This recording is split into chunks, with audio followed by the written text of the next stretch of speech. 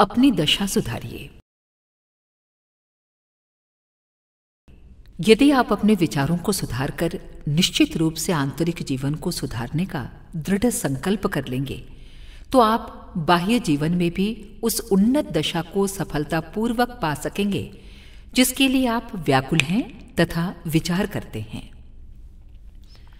यदि आप क्रोध, चिंता, ईर्ष्या, लोभ, शोक, भय तथा कोई असंगत मानसिक अवस्था के वश में हो गए हैं और फिर भी पूर्ण स्वास्थ्य की आशा रखते हैं तो वास्तव में आप एक असंभव बात का स्वप्न देख रहे हैं।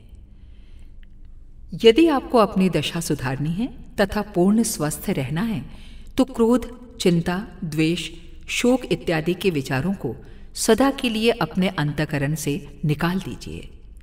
अपने आप को पूर्ण स्वस्थ समझिए, आपकी दशा में अवश्य सुधार होगा। अपने आप को कभी दरिद्र न समझिए, तथा ये निश्चय कर लीजिए कि जो कुछ आपके पास है, आप उसी का सबसे अच्छा उपयोग कर रहे हैं।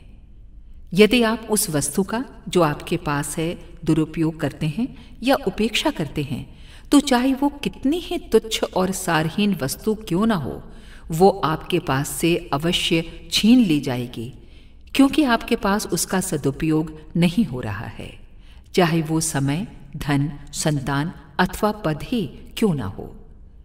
जब आपको अपनी भली और बुरी दशा का ज्ञान हो जाएगा, तब आप अपने सात्विक विचारों द्वारा अपनी बुरी दशाओं को बदलकर अपने भाग्य का भवन निर्माण कर सकेंगे। अखंड ज्योति, जुलाई उन्नीस सौ उनचास, पृष्ठ तीस।